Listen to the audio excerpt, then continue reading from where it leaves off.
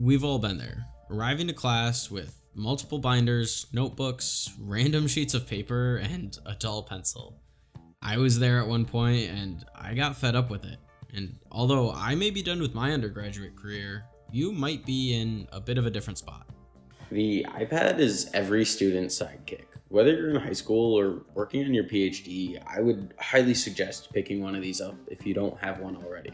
However, I think an iPad straight out of the box might not feel like the perfect sidekick.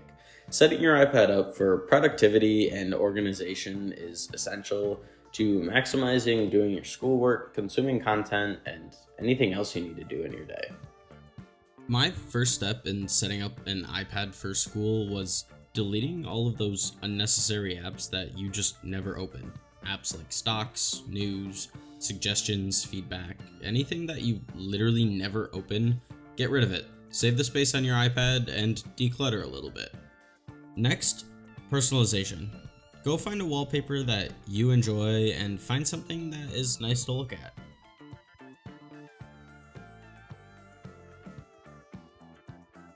When it comes to installing apps, I'd like to start with the Google ecosystem. Google Docs, Sheets, Gmail, and Google Calendar. You can't forget apps like Teams and Zoom with many courses offering a hybrid or fully remote option. If you're looking for jobs and internships, make sure to install LinkedIn as well. That way, if you have some free time, you can look at open positions. Having your iPad set up for success is important, don't get me wrong, but the most important part of using an iPad for school or any other daily activities is organization. Let's take a look. When it comes to things like school schedule, homework due dates, notes, general lists, or even future goals, having an app like GoodNotes or Notability really empowers you to take your iPad to the next level and keep track of all those things. Note taking on the iPad changed my life. Notability gave me the power to organize and plan my week, a skill that I think most students would benefit from having. In terms of assignments, most of my professors would offer a digital and paper version of assignments and notes, allowing me to simply download a PDF and upload it right to Notability. You can even use Notability as a planner Notability offers many options to choose from, and if you don't like those, feel free to look around on the internet to find one that you like. Within your assignments or planner, you have plenty of tools at your disposal. Multiple color choices for your pen and highlighter, a lasso tool to quickly select and move items on your screen, a text box option if your handwriting isn't very legible like mine, and even an option to record what is being said around you for later playback and fine-grained note-taking. The switch to writing on glass was simple and smooth. The Apple Pencil is responsive and glides on the glass with ease. The iPad's Retina display has great picture quality and responds to writing with the pencil very well. For writing notes, planning out your week, and consuming content, it's plenty.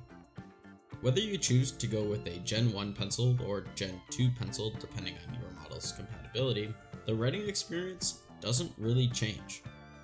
If you aren't looking to shell out that much money for an Apple Pencil and choose to go with something like the Logitech Crayon, it works just as well. You might not have as many gesture features, however, the experience is still pretty similar.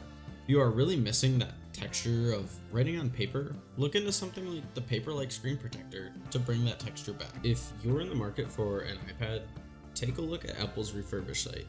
Apple's refurbished devices come with a one year warranty, new battery, and are inspected for any crazy damages, and they're replaced. You're basically getting a brand new device for upwards of 15% off, and you could put these savings towards a case or an Apple Pencil for your iPad. If you don't want to go with a refurb model, take a look at Apple for Education. Sometimes they offer gift cards, AirPods, or discounts on other Apple services with the purchase of a new device. Now, look, at the end of the day, the iPad is just a tool. Just like your binders and notebooks, it only works well if you use it effectively. Use the iPad to plan, execute, do assignments, and turn in homework, and it will really change your life. I used my iPad for three years in my undergraduate career, and it made such a big difference. and I promise I think it'll make a big difference to you as well.